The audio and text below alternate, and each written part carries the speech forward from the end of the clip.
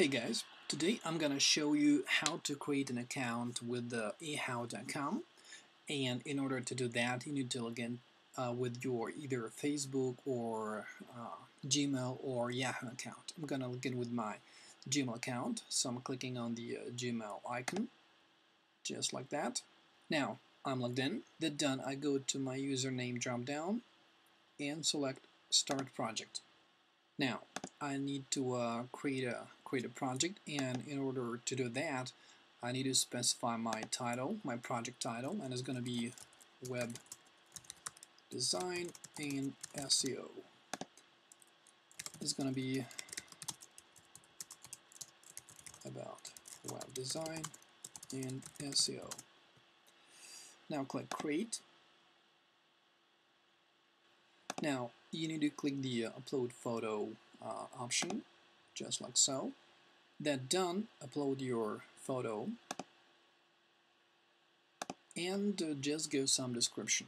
For example, this is my logo from webdesy.com. And at this point, you can just specify your uh, URL. So HTTP uh, colon slash slash Now, specify some tags, for example SEO, WebDesy,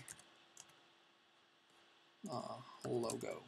The photo is still being uploaded because it's a big one, so I'm just gonna pause till uh, the photo is actually uploaded, and then we'll uh, go from there. So the photo has been uploaded. Now I just uh, click upload photos. And uh, log out. I'm doing it just to show how it's going to work when you're not logged into your account. So at this point,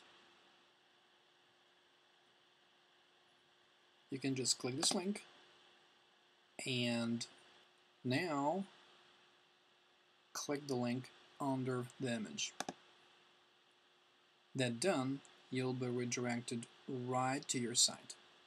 So that's how you can easily create a free link from a high domain authority site.